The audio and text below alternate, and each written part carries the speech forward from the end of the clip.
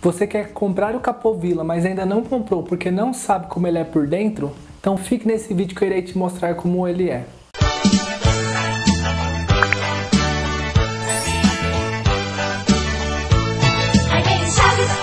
Galera, antes de mostrar por dentro para vocês, eu gostaria de falar algo aqui.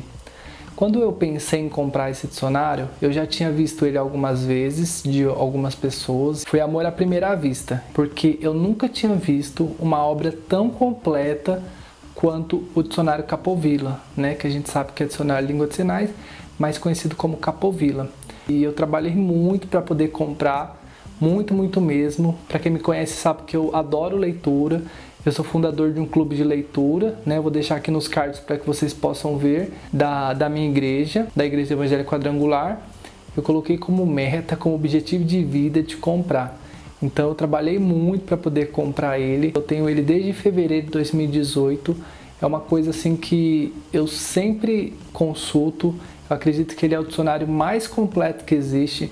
Depois desse dicionário vai ter entre, acredito que uns quatro, bom, não sei quantos existem, mas eu sei que os mais famosos são aquele é, dicionário ilustrado de língua de sinais da Flávia Brandão e também tem três dicionários que é um verde, um laranja e um vermelho. Acredito que estão bem legais também, já vi de perto, só não tive a oportunidade de ver desse da Flávia Brandão, mas esse dicionário Capovilla, acredito eu, pelos que eu já vi, algumas apostilas também já vi, eu acredito que o dicionário Capovilla é o dicionário mais completo que existe até hoje de língua de sinais.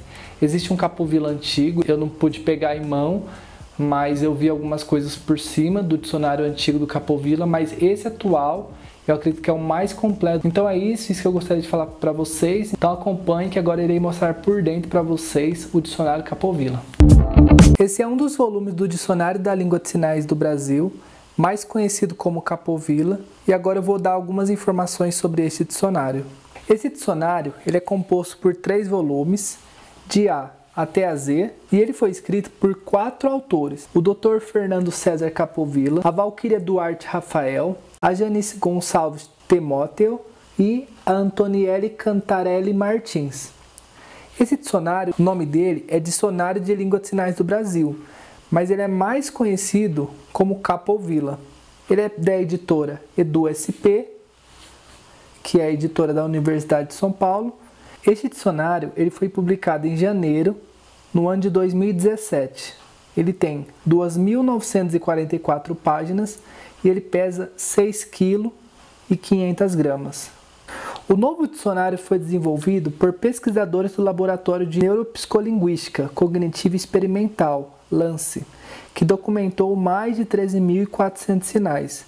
Esse dicionário documenta mais de 13 mil sinais de Libras em entradas lexicais individuais, trazendo os verbetes correspondentes ao sinal em português e inglês, a definição do significado do sinal e dos verbetes em ilustrações e a descrição detalhada da forma do sinal, além de exemplos ilustrativos do uso funcional apropriado do verbete em frases e a especificação do escopo da validade geográfica em relação aos estados brasileiros. O dicionário contém a escrita visual direta do sinal em sign write, permitindo ao leitor concentrar-se nos traços distintivos que possibilitam diferenciar sinais semelhantes. É possível ainda encontrar a descrição da etimologia do sinal pela análise dos morfemas, que compõem sua estrutura, e uma breve análise do parentesco semântico entre o sinal e outros sinais que compartilham de seus morfemas moleculares. O livro traz ainda a soletração digital em Libras, por meio da fonte Capovilla Rafael, permitindo à criança surda compreender melhor as palavras. Então vamos lá, galera. Acredito que a maioria das pessoas, é, quando pensam em comprar esse dicionário, ficam pensando: ele é tão caro desse jeito, será se realmente vale a pena? Então vamos ver de perto. De início, essa parte aqui é azul, olhem só. O meu está um pouco amassado, né? Como eu disse para vocês, já tem ele um bom tempo. Acredito que pelo fato dele estar tá um pouco junto do outro, era um lugar um pouco apertado, ele deu essa amassada aqui nessas folhas. Então na hora que você abre aqui no início, ó, ele mostra aqui os quatro autores que eu disse para vocês. que em primeiro está o Dr. César Capovilla, mais conhecido como autor do dicionário, mas não é somente ele. Tem outras pessoas aqui, né, como o próprio dicionário Capovilla mostra, que é da editora SP, né, como eu já disse para vocês. Aqui mostra um pouco da biografia de cada um. Olha só. Janice, Antonielle. Aqui mostra a dedicatória. Continuando. Aqui mostra as pessoas que colaboraram para essa obra, alguns intérpretes de Libras, alguns pesquisadores e alguns também surdos. Aqui vai mostrar as regiões, a ilustração dos sinais. Olha só, a escrita de sign right. Aqui os colaboradores. Continuando.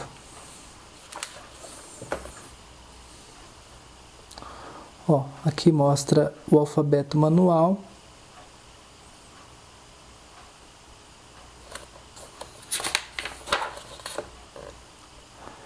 Aqui é a continuação.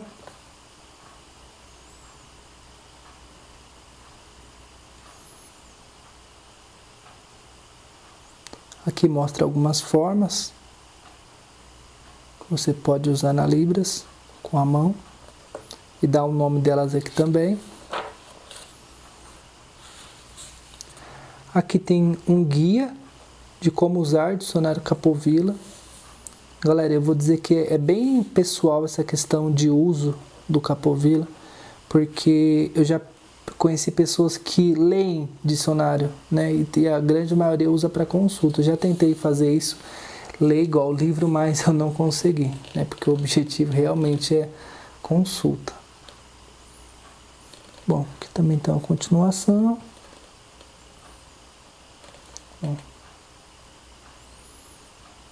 E aqui ele mostra um pouco como que vai ser por dentro, olha só. Focar, focou. Ele é trilingue, galera, então olha só. Aqui vai mostrar o, o avatar, né, o, o bonequinho, fazendo o sinal. Ele vai estar tá mostrando aqui aonde que o sinal ele é mais usado. Ele mostra também é, o sinal em sign right, tá vendo aqui, ó, sinal em sign right, o bonequinho, aqui o sinal em libras, e ele vai explicar um pouco do sinal, tá vendo? E ele também mostra o significado da palavra na língua inglesa. Então ele é trilingue, então tá em português, né? Aqui o significado, aqui em libras e aqui em inglês. Então, isso vai acontecer em todo o dicionário. Ele vai estar dessa forma aqui, ó. Bonequinho, a foto, aqui em libras, o, o desenho sign right e a descrição do sinal. E, e, uma coisa muito legal também é onde que é usado o sinal. Tá vendo? Aqui no caso Rio Grande do Sul. Aqui mostra também, ó, algumas configurações de mão Olha só.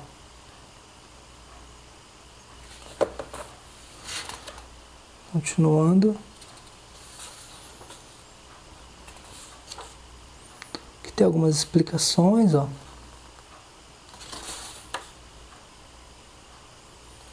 Aqui vai continuar mostrando como que é usado os sinais, ó.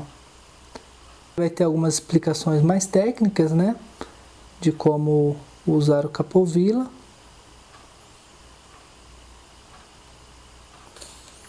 Continuando. Enfim, uma parte mais técnica e vamos para a parte que interessa, né? Que no caso é o capovila em si. Então aqui vai estar mostrando dessa forma. Então esse, esse volume aqui, ele é de A até D. Ó, como eu disse para vocês, uma vez eu tentei já usar ele de forma lida, né? Eu até escrevi algumas coisas. Todos os dias eu consultava ele para ler, né? Hoje eu atualmente eu consulto ainda Porém, eu não uso mais dessa forma, que é lida, né? Olha só. Só eu mesmo para fazer essas coisas.